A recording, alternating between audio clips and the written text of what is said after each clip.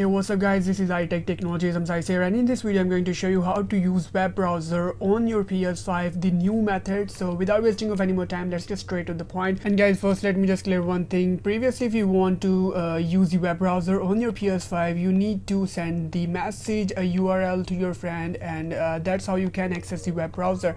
But guys in this new method you don't need to uh, send the URL to your friend. So let me just show you how this method works. So for this you just need to go to the settings go to the network. And guys what gonna need to do? Just tap this option view playstation network status and it will automatically uh, you know open the web browser on your ps5 it is pretty much simple and easy. You don't even need to send the uh, url to your friends. It is inbuilt on the ps5 even you can use uh, like a twitter facebook and other websites as well. That's how you can see the Twitter also working fine and uh, wait for a few more seconds. I have a super slow internet. And guys one more thing. There is no any search button here. Uh, if you want to go back just tap the L1 button and L1 button again.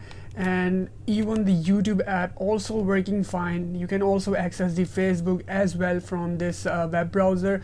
There are some limitations as well. As I said earlier there is no uh, you know search button. So it is a little bit difficult for you to search anything. And this is the Account what if I want to search my account like okay so this is my account this is my page let me just search it.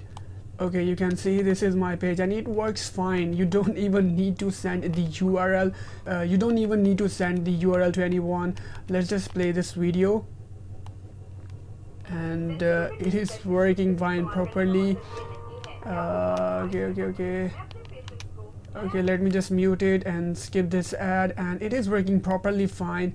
If I go to this option there is also theater mode. Everything is works fine on this web browser as well. And one more thing uh, as compared to the previous method this web browser feels a little bit smoother and faster as well.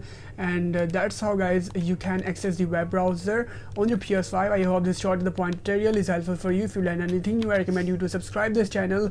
That's it for today. Hope you guys see you in the next video. Till then goodbye